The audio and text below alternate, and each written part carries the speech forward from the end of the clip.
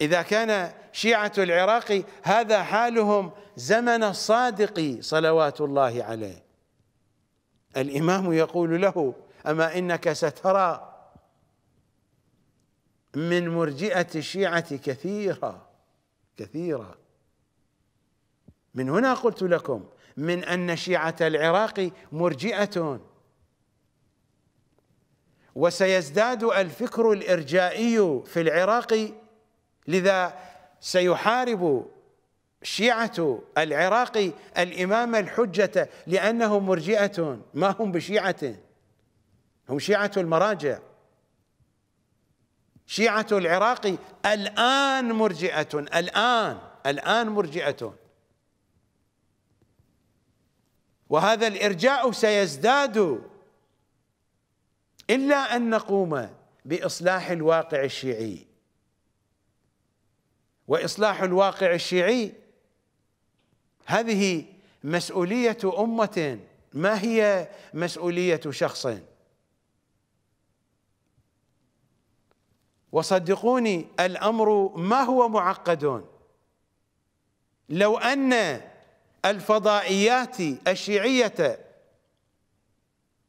لستة أشهر بل لثلاثة أشهر تبث برامجي. تبث هذه البرامج.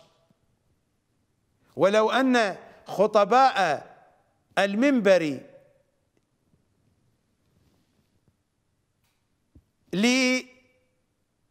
لمواسم سنة واحدة لا يأخذون من الوائل وإنما يأخذون مادتهم من برامج قناة القمر. بشكل صريح وواضح. أنا أعرف أن بعض الخطباء يأخذون شيئا من حديثي لكنهم يفسدونه. لماذا يخافون من محمد رضا السيستاني أن يسمع بهم أنهم يتحدثون بحديث من برامج قناة القمر؟ فيأخذون شيئا من الكلام وبعد ذلك يفسدونه. يغيرون فيه بعنوان التقية من مرجعية السيستاني ومن سائر المراجع الآخرين. فمرجعية السيستاني تحارب المنهج الذي يطرح عبر قناة القمر لأنه منهج قائم آل محمد وهؤلاء مرجئة لا يريدون منهج قائم آل محمد.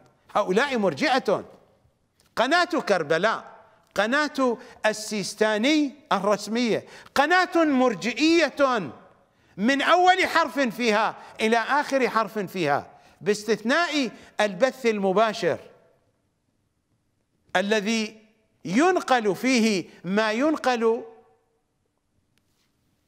من زيارة الزائرين لسيد الشهداء. باستثناء النقل المباشر من الحرم الحسيني